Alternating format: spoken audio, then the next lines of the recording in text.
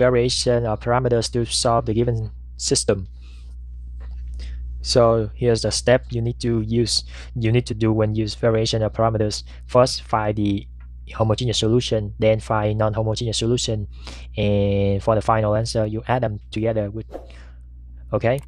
So I'm sure you know how, you already learned this, so I'm not gonna spend time going over it, but I will walk you through the problem step by step. Okay, let's put this aside.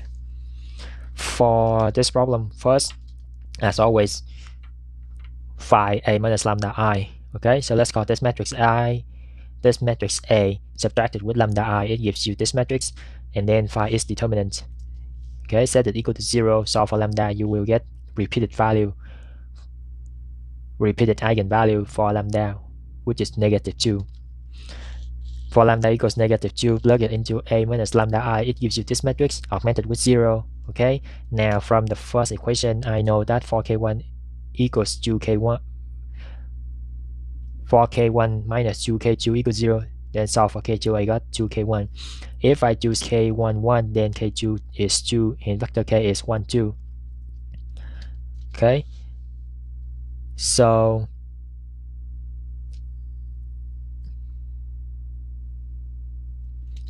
uh, let me do it here so my vector x1 is equal to 1 2 e to the negative 2t Now, since you have one lambda, how do you get the other eigenvector? Well, here's the thing. So once you plug it into this one, you get a matrix. First, you augment it with 0, you will get vector k. After that, you will the same matrix, but you augment with the matrix you just found, which is vector k, this k, to get your second vector, okay?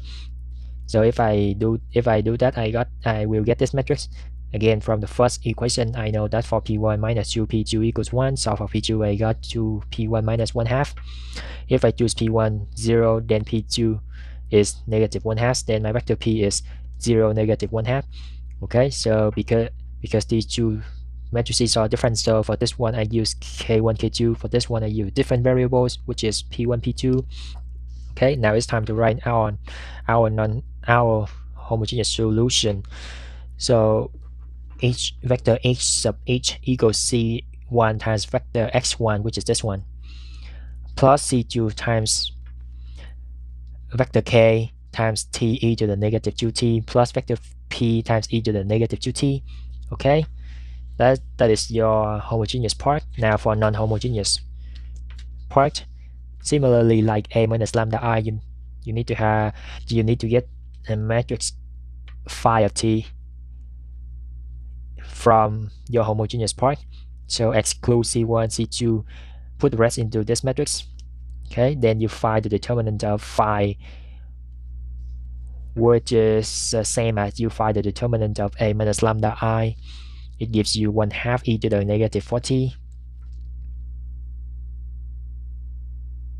Okay, then you are uh, going to find its inverse, which is equal to 1 over the determinant times this matrix but you need to make some changes.